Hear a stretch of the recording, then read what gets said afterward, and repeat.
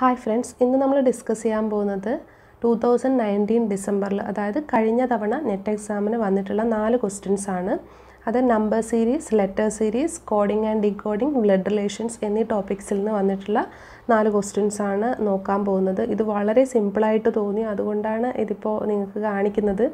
നിങ്ങൾക്ക് ഇതുമായിട്ട് ബന്ധപ്പെട്ട ഒരുപാട് വീഡിയോസ് ഈ നാല് ടോപ്പിക്സിന്റെയും videos part one part two part three എന്നിങ്ങനെ കുറേ എക്സാമ്പിൾസ് നമ്മൾ ഓൾറെഡി ഈ ഒരുപാട് വീഡിയോസ് അപ്ലോഡ് ചെയ്തിട്ടുണ്ട് ഓൾറെഡി ഡിസ്കസ് ചെയ്തിട്ടുള്ളതാണ്. അപ്പോൾ അതൊക്കെ നിങ്ങൾ കണ്ടിട്ടുണ്ടാവുമെന്ന് വിശ്വസിക്കുന്നു. അതൊക്കെ നിങ്ങൾ കണ്ടിട്ടുണ്ടെങ്കിൽ ഇത് ഈ ക്വസ്റ്റ്യൻ കണ്ട ഉടനെ തന്നെ നിങ്ങൾക്ക് പെട്ടെന്ന് കുറച്ച് സെക്കൻഡുകൾ കൊണ്ട് തന്നെ ആൻസർ കണ്ടെത്താൻ കഴിയുന്നത് ഉറപ്പാണ്. അപ്പോൾ അതൊക്കെ അറിയുന്നവർ എക്സ്പ്ലനേഷൻ കേൾക്കുന്നതിന് മുന്നേ ക്വസ്റ്റ്യൻ മാത്രം നോക്കിയിട്ട് സ്വയം ആൻസർ ചെയ്യാൻ ആൻസർ കണ്ടെത്താൻ കഴിയുന്നുണ്ടോ എന്ന് നോക്കുക. എന്നിട്ട് എക്സ്പ്ലനേഷൻ കേട്ടാൽ മതി. അല്ലാത്തവരാണെങ്കിൽ ഒന്ന് കണ്ടു നോക്കുക. മുൻ വീഡിയോസ് ഇതുമായിട്ട് ബന്ധപ്പെട്ട ഈ ടോപ്പിക്സിന്റെ വീഡിയോസ് കണ്ടിട്ട് ഇത് കാണുന്നതായിരിക്കും നല്ലത്. കാരണം അത്രയ്ക്ക് സിമ്പിളാണ് അതിൽ എക്സ്പ്ലെയിൻ ഞാൻ ഒരുപാട് എക്സാമ്പിൾസ് അത് വീഡിയോസിൽ പറഞ്ഞിട്ടുണ്ട്. അതിലൊക്കെ സിമ്പിളാണ് ശരിക്കും എക്സാമിന് ചോദിച്ചിട്ടുള്ള ക്വസ്റ്റ്യൻസ് അപ്പോൾ നമുക്ക് ക്വസ്റ്റ്യൻസ് ഓരോന്നായിട്ട് നോക്കാം.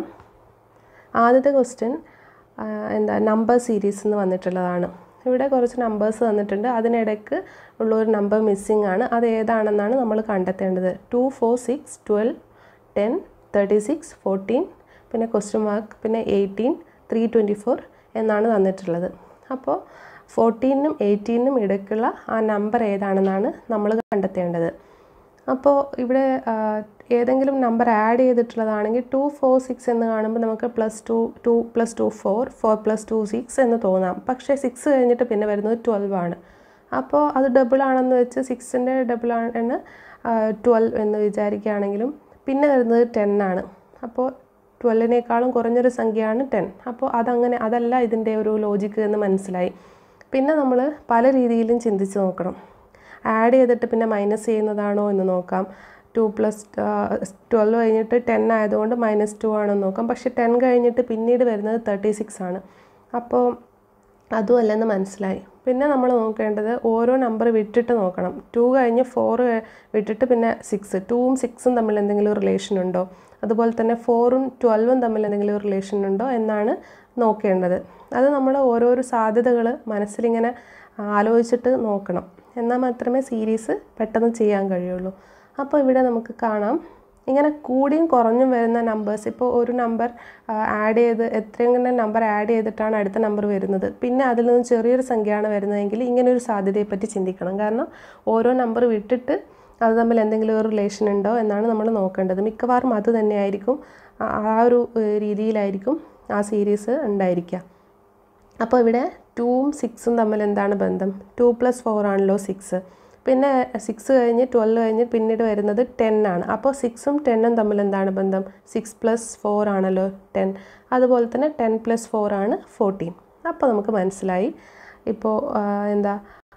Two four ten fourteen fourteen കഴിഞ്ഞ് പ്ലസ് ഫോർ ആണ് എയ്റ്റീൻ അതും മനസ്സിലായി. പിന്നെ നമ്മൾ നോക്കേണ്ടത് അടുത്ത സാധ്യതയാണ്. അതായത് ഫോറും ട്വൽവും പിന്നെ ട്വൽവും തേർട്ടി സിക്സും പിന്നെ തേർട്ടി സിക്സും നമുക്ക് കണ്ടെത്തേണ്ടതായിട്ടുള്ള ആ ഒരു സംഖ്യയും തമ്മിൽ എന്താണ് ബന്ധം എന്താണ് എന്നാണ് നമ്മൾ നോക്കേണ്ടത്.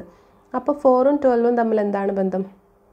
അപ്പോൾ ഫോർ പ്ലസ് എയ്റ്റ് ആണ് ട്വൽവ് എന്ന് പെട്ടെന്ന് നമ്മൾ അങ്ങനെ ചിന്തിച്ചേക്കാം. പക്ഷേ ട്വൽവ് അങ്ങനെയാണെങ്കിൽ ട്വൽവ് പ്ലസ് എയ്റ്റ് എന്നൊരു സംഖ്യ ആയിരിക്കണ്ടേ തേർട്ടി സിക്സിന്റെ സ്ഥാനത്ത്? പക്ഷേ അതല്ല. അപ്പോൾ നമുക്ക് നമ്മൾ മനസ്സിലാക്കണം ഇത് മൾട്ടിപ്ലിക്കേഷൻ ആണെന്ന്. അപ്പോൾ ഫോർ ഇന്റു ത്രീ ആണല്ലോ ട്വൽവ് അപ്പോൾ പിന്നെ ട്വൽവ് ഇന്റു ത്രീ എത്രയാണെന്ന് നോക്കുക അപ്പോൾ തേർട്ടി സിക്സ് ആണെന്ന് മനസ്സിലായി. അപ്പോൾ നമുക്ക് ഉറപ്പിക്കാം. രണ്ട് തവണയും അങ്ങനെ തന്നെ വന്നു. അപ്പോൾ മൂന്നാമതും അങ്ങനെ തന്നെ ആയിരിക്കണം. അപ്പോൾ thirty six into twelve sorry thirty six into three എന്നത് എന്താണെന്ന് കണ്ടെത്തുക. അപ്പോൾ വൺ നോട്ട് എയ്റ്റ് ആണെന്ന് കിട്ടി. അപ്പോൾ വൺ നോട്ട് എയ്റ്റ് എന്നൊരു ആൻസർ ഓപ്ഷൻ ഉണ്ടോ എന്ന് നോക്കുക. അപ്പോൾ third option one nought eight ആണെന്ന് മനസ്സിലായി. പക്ഷേ ഇത് ആൻസർ ചെയ്യുന്നതിന് മുന്നേ ഒന്നുകൂടെ നോക്കണം. One nought eight into three എന്നത് ത്രീ ട്വന്റി ഫോർ ആണോ എന്ന് കൺഫേം ചെയ്തതിന് ശേഷം മാത്രമേ ആൻസർ ചെയ്യാൻ പാടുള്ളൂ. അപ്പോൾ one nought eight into three എത്രയാണെന്ന് നോക്കുക. ത്രീ ട്വന്റി ഫോർ ആണല്ലോ. അപ്പോൾ നമുക്ക് ഉറപ്പിക്കാം തേർഡ് ഓപ്ഷനാണ് ആൻസർ എന്ന്. അതങ്ങനെയാണ് ഫസ്റ്റ് ക്വസ്റ്റിന് ആൻസർ ചെയ്യുന്നത്. അപ്പോൾ ഇനി നമുക്ക് നെക്സ്റ്റ് ക്വസ്റ്റ്യൻ നോക്കാം. അടുത്തത് എന്താ? Apoorv is son of Madhu. Vinod is brother of Madhu's husband how is Apoorv related to Vinod. ഇത് ബ്ലഡ് റിലേഷൻസ് എന്ന് വന്നിട്ടുള്ള സിമ്പിളായിട്ടുള്ളൊരു ക്വസ്റ്റ്യൻ ആണ്. ഇതിൽ ഒരു കൺഫ്യൂഷന്റെ ആവശ്യമില്ല. കാരണം ഡയറക്റ്റായിട്ട് പറഞ്ഞിട്ടുണ്ട്. അപൂർവ് എന്നത് മധുവിന്റെ സണ്ണാണ് അപ്പോൾ തന്നെ നമുക്ക് ഒരുപാട് ചിന്തിക്ക് മനസ്സിൽ ചിന്തിച്ച് ബുദ്ധിമുട്ടുണ്ട്. പെട്ടെന്ന് തന്നെ പെണ്ണെടുത്തിട്ട് അപൂർവ് മധു വിനോദ് എന്നൊക്കെയാണ് പറഞ്ഞിട്ടുള്ളത്. അപ്പോൾ ഒരു കൺഫ്യൂഷൻ വേണ്ട. കാരണം മധു എം എ വി എന്നിട്ടാൽ മതി. എല്ലാ പേരുകളും വ്യത്യസ്തമായിട്ടുള്ള ലെറ്റേഴ്സിലാണ് സ്റ്റാർട്ട് ചെയ്യുന്നത്. അപ്പോൾ എ എന്ന് എഴുതാണ് ഫസ്റ്റ് തന്നെ എ എന്ന് എഴുതിയിട്ട് അപൂർവി സൺ ഓഫ് മധു എന്ന് പറഞ്ഞിട്ടുള്ള സൺ ആണ് എന്ന് പറഞ്ഞിട്ട്. അപ്പോൾ അപൂർവ് എന്ന എന്താണ്? മെയിലാണ് അപ്പോൾ മെയിൽ എ എന്ന് പറഞ്ഞിട്ട് മെയിലിനെ സൂചിപ്പിക്കുന്ന പ്ലസ് എന്ന സിമ്പിൾ അപൂർവിന്റെ എന്റെ കൂടെ ഇടുക. അത് കഴിഞ്ഞിട്ട് മധുവിന്റെ സണ്ണാണ് എന്ന് പറഞ്ഞിട്ടുള്ളത് കൊണ്ട് അപൂർവിന്റെ മേലെയായിട്ട് എന്റെ മേലെയായിട്ട് ഒരു ലൈൻ വരച്ചിട്ട് മധുവിന്റെ എം എന്ന് എഴുതുകയാണ്. പിന്നെ പറഞ്ഞിട്ടുള്ളത് പക്ഷേ സൺ ഓഫ് മധു എന്ന് പറയാ പറഞ്ഞിട്ടേ ഉള്ളൂ. അവിടെ മെയിലാണോ ഫീമെയിലാണോ എന്ന് പറഞ്ഞിട്ടുള്ളത് ഇല്ലാത്തതുകൊണ്ട് തൽക്കാലത്തേക്ക് നമ്മൾ ആ ഒരു സിമ്പലൊന്നും ഇടുന്നില്ല. പിന്നെ നെക്സ്റ്റ് സെന്റൻസ് എന്താണെന്ന് വായിച്ച് നോക്കാം. Vinod is brother of Madhu's husband എന്ന് പറഞ്ഞിട്ടുണ്ട്.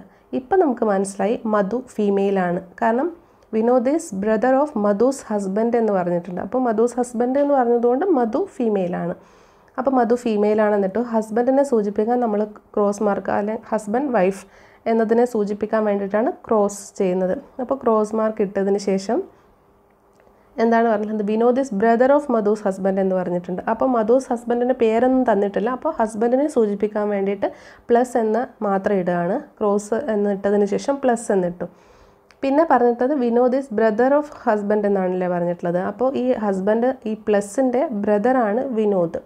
അപ്പോൾ ബ്രദർ എന്ന് പറയുമ്പോൾ ഇവർ രണ്ടുപേരും ഒരു പാരൻസിന്റെ ഒരേ പാരൻസിന്റെ മക്കളാണല്ലോ. അപ്പോൾ രണ്ട് ലൈൻസ് ഇടുകയാണ് മേലോട്ടേക്കായിട്ട്. അപ്പോൾ ഒരു ലൈനിന്റെ അറ്റത്ത് ആണ് ഈ മധുവിന്റെ ഹസ്ബൻഡ് ഉള്ളത്. അതായത് ഈ പ്ലസ് സിമ്പിൾ ഉള്ളത് ഒരു സൈഡിൽ അങ്ങേയറ്റത്ത് വലത് സൈഡിലായിട്ട് നമ്മളിപ്പോൾ വിനോദ് എന്നുകൂടെ ഇടുകയാണ്. വിനോദിന്റെ വി. വിനോദ് ബ്രദർ എന്ന് പറഞ്ഞിട്ടുള്ളതുകൊണ്ട് വിനോദ് മെയിലാണെന്ന് മനസ്സിലായി. അതുകൊണ്ട് പ്ലസ് എന്ന് കിട്ടും അവരുടെ പാരൻസിനെ പറ്റിയൊന്നും നമ്മൾ ചിന്തിക്കേണ്ട ആവശ്യമില്ല. അവർ ഒരേ പാരൻസിന്റെ മക്കളാണെന്ന് അറിയാൻ വേണ്ടിയിട്ട് മാത്രമാണ് ഇവിടെ രണ്ട് ലൈൻ ഇട്ടിട്ട് അതിന്റെ മുകളിലോട്ട് നമ്മൾ ഇനി എഴുതാനൊന്നും പോകണ്ട. അപ്പോൾ രണ്ട് ലൈൻ ഇട്ടിട്ട് അതിന്റെ അറ്റത്ത് ഒരു സൈഡിൽ ഈ മധുവിന്റെ ഹസ്ബൻഡും മറ്റേ സൈഡിൽ വിനോദും എന്നാണ് എഴുതിയിട്ടുള്ളത്. ഇനി നമുക്ക് ക്വസ്റ്റൻ എന്താണെന്ന് നോക്കാം. How's Apoorv related to Vinod എന്നാണ് ചോദിച്ചിട്ടുള്ളത്. അപ്പോൾ ഇവിടെ അപൂർവ് വിനോദിന്റെ ആരാണ് എന്നാണ് ചോദിച്ചിട്ടുള്ളത്. അപ്പോൾ വിനോദിന്റെ ആരാണ്? വിനോദിന്റെ ബ്രദറിന്റെ കുട്ടിയാണ് അപൂർവ്. അപ്പോൾ ബ്രദറിന്റെ കുട്ടീനെ എന്താണ് പറയുക നെഫ്യൂ എന്നാണല്ലോ എന്നാണല്ലോ പറയാം. അത് ആൺകുട്ടിയാണെന്ന് തന്നിട്ടുണ്ട്. അതുകൊണ്ട് നെഫ്യൂ ആണെന്ന് നമുക്ക് ഉറപ്പിക്കാം. പെൺകുട്ടിയാണെന്നുണ്ടെങ്കിൽ നീസ് എന്നായിരിക്കും. അങ്ങനെ ഒരു ഓപ്ഷൻ ഉണ്ടായിരിക്കും. പക്ഷേ ഇവിടെ സൺ എന്ന് പറഞ്ഞിട്ടുള്ളത് കൊണ്ട് അപൂർവ ആൺകുട്ടിയാണ്. അപ്പോൾ നെഫ്യൂ എന്ന ആൻസർ നമുക്ക് സെലക്ട് ചെയ്യാം. ഇത് ഇത്രയും സമയം എക്സ്പ്ലനേഷൻ കേട്ടിട്ട് ഇത്രയും സമയം ഉണ്ടെന്നുണ്ടെന്ന് ചിന്തിക്കേണ്ട. ഇത് ബ്ലഡ് റിലേഷൻസിലെ ക്വസ്റ്റ്യൻസ് തീരെ സോൾവ് ചെയ്യാൻ അറിയാത്തവരാണെങ്കിൽ മുന്നേ ഇതുമായിട്ട് ബന്ധപ്പെട്ട് വീഡിയോസ് ഇട്ടിട്ടുണ്ട്. അത് പ്ലേലിസ്റ്റിൽ പോയിട്ട് ജനറൽ പേപ്പറിന്റെ ഒരു പ്ലേലിസ്റ്റ് ഉണ്ട്. അതിൽ പോയിട്ട് ആ വീഡിയോസ് ഒന്ന് കണ്ടാൽ നിങ്ങൾക്ക് കുറച്ച് സെക്കൻഡുകൾ കൊണ്ട് തന്നെ എ എം വി എന്ന് എഴുതേണ്ട ആ ഒരു സമയം മാത്രം മതി. അതിനുള്ളിൽ തന്നെ പെട്ടെന്ന് തന്നെ ഇത് കുറച്ച് സെക്കൻഡ് ഒരു അഞ്ചോ ആറോ സെക്കൻഡ് മാക്സിമം അതിനുള്ളിൽ തന്നെ നിങ്ങൾക്കിത് ആൻസർ ചെയ്യാൻ കഴിയുന്നതായിരിക്കും. അപ്പോൾ നമുക്ക് നെക്സ്റ്റ് ക്വസ്റ്റ്യൻ നോക്കാം. ഇതിൽ കോഡിംഗ് ആൻഡ് ഡീകോഡിങ്ങിലെ ഭാഗത്തു നിന്നുള്ള ഒരു ക്വസ്റ്റ്യൻ ആണിത്. In a certain code England is written as U L S N Y L V using the same code Ireland will be written as എന്നാണ് ചോദിച്ചിട്ടുള്ളത്. നാല് ഓപ്ഷൻസും തന്നിട്ടുണ്ട്. അപ്പോൾ ഇംഗ്ലണ്ട് എങ്ങനെയാണ് എഴുതിയിട്ടുള്ളതെന്ന് ഇംഗ്ലണ്ടിന്റെ നേരെ താഴെയായിട്ട് അതിന്റെ കോഡ് എഴുതി വെച്ചിട്ടുണ്ട്. പിന്നെ അതുപോലെ തന്നെ അയർലൻഡും എഴുതി വെച്ചിട്ടുണ്ട്. അപ്പോൾ അയർലൻഡ് നമ്മളിനി കണ്ടുപിടിക്കാൻ പോകുന്നുള്ളൂ. അത് നോക്കണ്ട. ഇംഗ്ലണ്ടിനെ എങ്ങനെയാണ് U L S N Y L V എന്ന് കോഡ് ചെയ്തത് എന്നതാണ് നമ്മൾ മനസ്സിലാക്കേണ്ടത്. അതിനനുസരിച്ച് നമുക്ക് അയർലൻഡിനെയും ചെയ്യാം. അപ്പോൾ ഇവിടെ ഇംഗ്ലണ്ട് എന്ന് പറയുന്നത് സെവൻ ലെറ്റേഴ്സുള്ള ഒരു വേർഡാണ് അപ്പോൾ നമ്മൾ ആദ്യം ചിന്തിക്കേണ്ടത് കോഡ് ചെയ്യുമ്പോൾ നമ്മൾ ഇതിനെ സ്പ്ലിറ്റ് ചെയ്തിട്ട് എന്തെങ്കിലും ബന്ധമുണ്ടോ എന്ന് മനസ്സിലാക്കുക. അപ്പോൾ സെവൻ ലെറ്റേഴ്സ് ആയതുകൊണ്ട് നമുക്ക് നേരെ പകുതിയായിട്ട് സ്പ്ലിറ്റ് ചെയ്യാൻ പറ്റില്ല. അതുകൊണ്ട് മൂന്ന് ലെറ്റേഴ്സ് പിന്നെ റൈറ്റ് സൈഡിൽ മൂന്ന് ലെറ്റേഴ്സ് നടുവിൽ ഒരു ലെറ്ററായിട്ട് സ്പ്ലിറ്റ് ചെയ്യാണ്. അങ്ങനെയാണ് ഇ എൻ ജി കഴിഞ്ഞിട്ട് ഒരു ലൈൻ താഴോട്ടേക്ക് ഇട്ടു. പിന്നെ വൈ എൽ കഴിഞ്ഞിട്ട് പിന്നീട് ഒരു ലൈൻ ഇട്ട് എ എൻ ഡി എന്നത് സെപ്പറേറ്റ് ആക്കി. ഇനി നമുക്ക് എൽ തന്നെ അത് അങ്ങനെ ഇരിക്കട്ടെ. പിന്നെ ഇയും യുവും തമ്മിൽ എന്തെങ്കിലും ബന്ധമുണ്ടോ? അതുപോലെ തന്നെ ഇയും ക്രോസ് ചെയ്തിട്ട് നേരെ എസ് തമ്മിൽ എന്തെങ്കിലും ബന്ധമുണ്ടോ? അതുപോലെ തന്നെ ജിയും യുവും തമ്മിൽ എന്തെങ്കിലും ബന്ധമുണ്ടോ? അങ്ങനെയൊക്കെ ഒന്ന് നോക്കുക. പെട്ടെന്ന് തന്നെ ഇത് ചെയ്യണം. അപ്പോൾ പെട്ടെന്ന് നോക്കുമ്പോൾ തന്നെ നമുക്ക് ബന്ധങ്ങളൊന്നും പെട്ടെന്ന് കിട്ടുന്നില്ല. അപ്പോൾ പിന്നെ നമ്മൾ ചിന്തിക്കേണ്ടത് ഓപ്പോസിറ്റ് ലെറ്റേഴ്സിന്റെ ഒരു സാധ്യതയാണ്. അത് നിങ്ങൾ കുറേ തവണ പറഞ്ഞിട്ടുണ്ട്. കോഡിങ് ആൻഡ് ഡീകോഡിങ്ങിലും ലെറ്റർ സീരീസിലും ഒക്കെ നിങ്ങൾ ക്വസ്റ്റ്യൻസ് പെട്ടെന്ന് സോൾവ് ചെയ്യണമെങ്കിൽ നിങ്ങൾ A to Z positional values പഠിക്കണം. അതിനെപ്പറ്റി മുന്നേ പറഞ്ഞിട്ടുള്ളതാണ്. അപ്പോൾ അത് പഠിച്ചിട്ടില്ലാത്തവരാണെങ്കിൽ നിങ്ങൾക്ക് കുറച്ച് സമയം നഷ്ടമാകുന്നുള്ളൂ ഇങ്ങനെ ചെയ്താലും മതി. പക്ഷേ പെട്ടെന്ന് ചെയ്യണം. സമയം ലാഭിക്കണം എന്ന് ചിന്തിക്കുന്നവരാണെങ്കിൽ എന്തായാലും നിങ്ങൾ പൊസിഷണൽ വാല്യൂസ് പഠിക്കണം. അത് പഠിച്ചിട്ടില്ലെങ്കിൽ ഇങ്ങനെ എഴുതിയാലും മതി. പിന്നെ അതുപോലെ തന്നെ ഓപ്പോസിറ്റ് ലെറ്റേഴ്സ് ഏതൊക്കെയാണ് എന്നും പഠിക്കണം. അതിന് ഒരുപാട് സമയമൊന്നും വേണ്ട. കുറച്ച് മിനിറ്റുകൾ അതിന് വേണ്ടി സ്പെൻഡ് ചെയ്താൽ തന്നെ നിങ്ങൾക്ക് പഠിക്കാനാവും. കാരണം A to Z twenty six letters നമ്മൾ ചെറുപ്പം മുതലേ പഠിക്കുന്നതാണ്. അതിന്റെ വാല്യൂസ് എത്രയാണെന്ന് കൂടി നമ്മൾ പഠിച്ചാൽ മതിയല്ലോ. അപ്പോൾ ഇവിടെ അങ്ങനെ പഠിക്കാത്തവർക്ക് വേണ്ടിയിട്ട് ആണ് ഇവിടെ എഴുതി വെച്ചിട്ടുള്ളത്.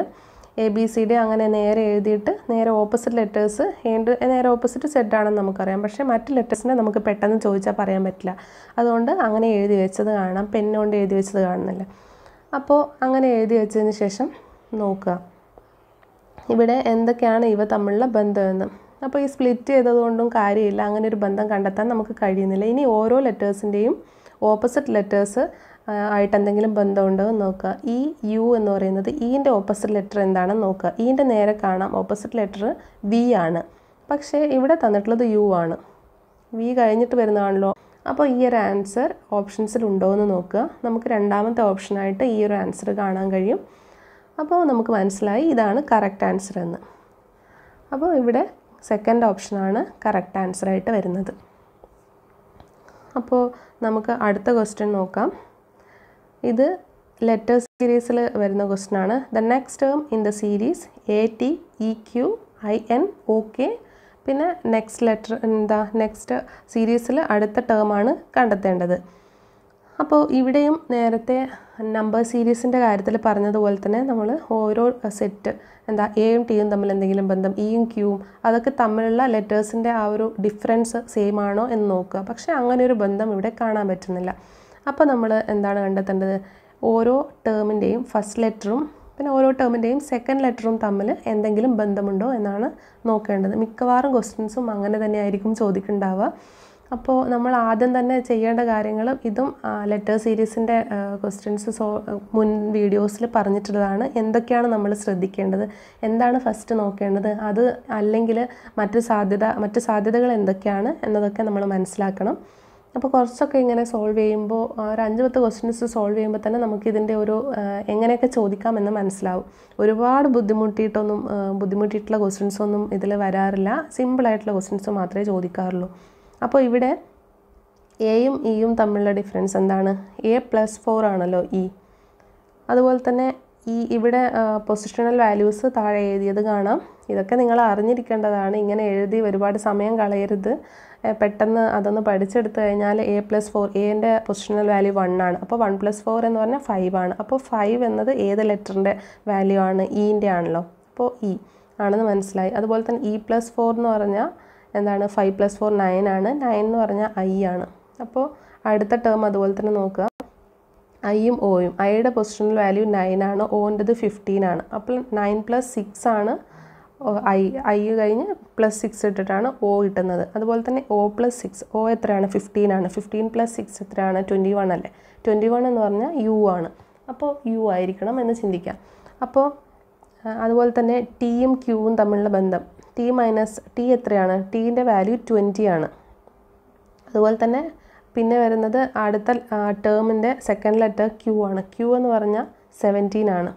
അപ്പോൾ ട്വന്റിയും സെവന്റീനും തമ്മിലുള്ള ഡിഫറൻസ് എത്രയാണ്? മൈനസ് ത്രീ ആണല്ലോ. അപ്പോൾ അതുപോലെ ഇവിടെ മൈനസ് ത്രീ മൈനസ് ത്രീ എന്ന രീതിയിലാണ് ഈ സീരീസ് പോകുന്നത്. അപ്പോൾ മൈനസ് ത്രീ ഒ കഴിഞ്ഞ് സോറി എൻ കഴിഞ്ഞ് കെ വന്നു. കെ കഴിഞ്ഞ് പിന്നെ നമുക്ക് നെക്സ്റ്റ് ടേമാണ് കണ്ടെത്തേണ്ടത്. അപ്പോൾ കെന്റെ പൊസിഷണൽ വാല്യൂ എത്രയാണ്? ലെവൻ ആണല്ലോ.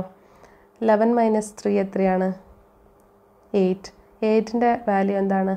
അതായത് എയ്റ്റിന്റെ ആ പൊസിഷനിൽ വരുന്ന ലെറ്റർ എച്ച് ആണ്. അപ്പോൾ യു എച്ച് എന്നതാണ് ഇതിന്റെ ആൻസർ. അപ്പോൾ ഇത്രയും മാത്രമേ ഉള്ളൂ. ഈ ഒരു നാല് ടോപ്പിക്സിൽ നിന്ന് സിമ്പിളായിട്ടുള്ള ക്വസ്റ്റ്യൻസ് ആണ് കഴിഞ്ഞ തവണ ചോദിച്ചിട്ടുള്ളത്. ഇനിയും ജൂണിലെ എക്സാമിന് നമുക്ക് ഇങ്ങനെ തന്നെ പ്രതീക്ഷിക്കാം.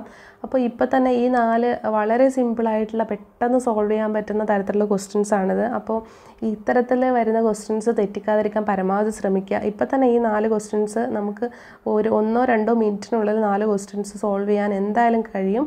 അപ്പോൾ എട്ട് മാർക്കാണ് നമുക്ക് ഇതിലും ലഭിക്കുന്നത്. അങ്ങനെ വെറുതെ ഇങ്ങനെ മാർക്ക് കളയരുത്.